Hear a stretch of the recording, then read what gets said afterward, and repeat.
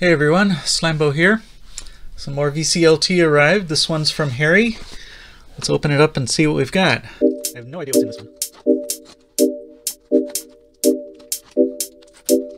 Alright, so one bit of tape the top, and opens right up. Since it's much smaller than a 12 inch, I'm guessing these are all 7 inches. I reach in here, it feels like there's a book and some 7 inches. So let's pull out the book first. Oh, nice. Golden Age of Disney Records. This goes right along with the uh, Disneyland record.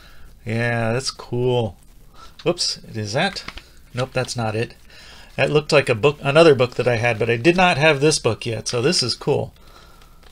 Yeah, so now I've got the entire catalog of everything Disneyland Records. I see a few of the covers that I've got in the collection. I see a few more that I want to get. So, yeah, I'm going to spend some time going through this pretty soon. So, the Golden Age of Walt Disney Records, 1933 to 1988, price guide for Disney fans and record collectors. Up to 1988, this would probably be released in copyright 97. Oh, okay. So 10 years later. So I guess it just took a while for them to do it. And then on the back, we've got another cover there. That's another one that I need to get and get a good look at the front cover there. Let's see, any ones that I have on here. I've got, oh, there goes a big truck down the street. Oh, there it is, cement truck going past. Okay, well, there's Bambi, I've got that one. And the one that'll never leave the vault anymore, Song of the South. so anyway, yeah, I'm gonna, I'm definitely gonna spend some time reading through that. And in just thumbing through the book just now, I found two that are rather interesting on just looking at the, the uh, cover art. So this one up here in the corner is Dave Digs Disney.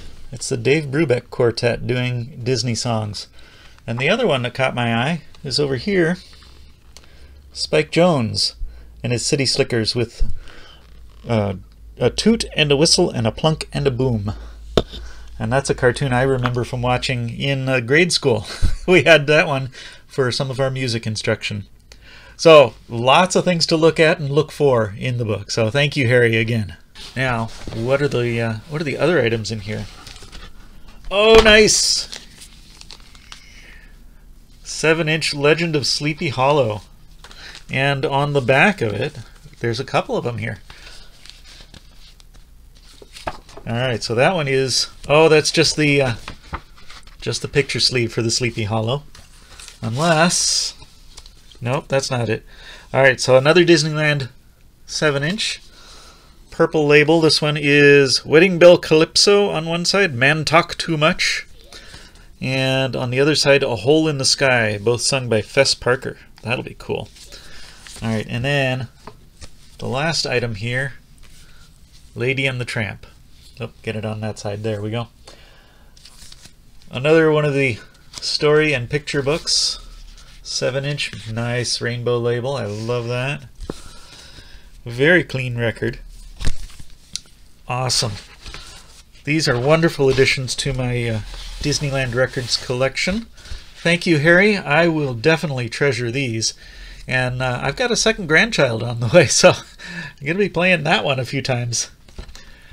So there we have it, some VCLT from uh, Harry, some more stuff from my Disneyland Records collection, and a price guide and catalog of Disneyland Records so I know, uh, or I have a better idea of what I'm missing out of my collection. That's what I've got today. See you next time.